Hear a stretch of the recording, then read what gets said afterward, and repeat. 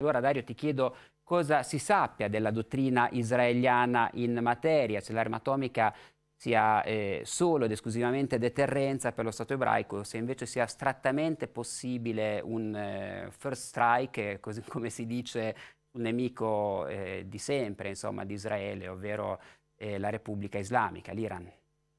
Eh, come sappiamo bene, Israele ufficialmente non ha mai dichiarato di possedere le armi nucleari, che ha da molti decenni anche capacità di risposta nucleare, non abbiamo parlato anche qui, quindi ha ordini nucleari montati sui sottomarini nel Mediterraneo orientale, quindi in caso anche di attacco nucleare avrebbe capacità di risposta nucleare, non sarebbe obliterato dalla carta, questo come capiterebbe alla Corea del Nord, per intenderci. Difficile anche stabilire quante testate nucleari abbia Israele con certezza, tuttavia c'è una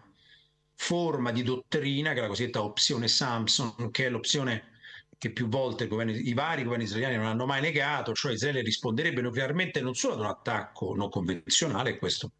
parrebbe scontato, ma anche ad un attacco massiccio sul suo territorio che mettesse in difficoltà il paese eh, creando talmente documento da condurlo quasi alla resa. Allora in quel caso, con un discrimine come vedete molto lasco, che lascia come naturale in casi di dottrina di questo tipo ampio margine di manovra alle cancellerie, in quel caso Israele utilizzerebbe l'arma nucleare che, fu, che ufficialmente eh, neppure, neppure possiede, che la possa utilizzare, quindi faccio riferimento a quanto dicevi tu, anche come mh, colpo preventivo, come first strike per dirla all'americana, nei confronti di un nemico, insomma, questo, anche questo non abbiamo nessuna contezza né certezza, sebbene non sia stato smentito da nessuno, eh, immaginiamo comunque che sia altamente improbabile. Tuttavia, lo dicevi tu all'inizio, eh, questa guerra, cioè quella in Medio Oriente, la nuova fase dal 7 ottobre in poi, per la prima volta nella storia ha condotto un ministro senza portafoglio, che era il ministro dell'eredità culturale,